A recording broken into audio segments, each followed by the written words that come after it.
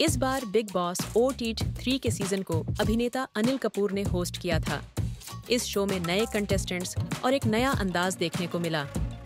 वाद विवाद, राजनीति और मनोरंजन के बीच एक एक कर कंटेस्टेंट्स बाहर होते गए। और लेकिन सना मकबूल ने अपने शानदार खेल के दम पर बिग बॉस के घर में अपनी जगह बनाए रखी। अब जीत के बाद उन्हें सोशल मीडिया पर भर भर कर बधाइयाँ मिल रही हैं। बधाइयों के साथ सात लोगों के मन में यह भी है कि आखिर सना मकबूल है कौन? तो आइए जानते हैं सना के बारे में।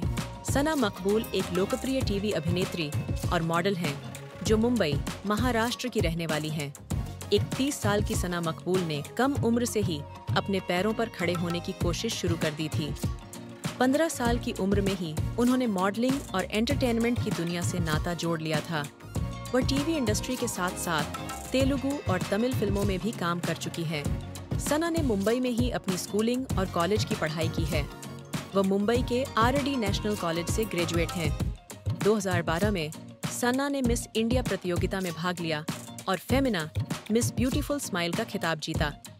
2014 में उन्होंने तेलुगु फ़िल्म डिक्कुल्लू चूड़ाकू रामैया से डेब्यू किया और 2017 में ए आर मुरुगादास द्वारा निर्मित तमिल फ़िल्म रंगून से तमिल सिनेमा में कदम रखा।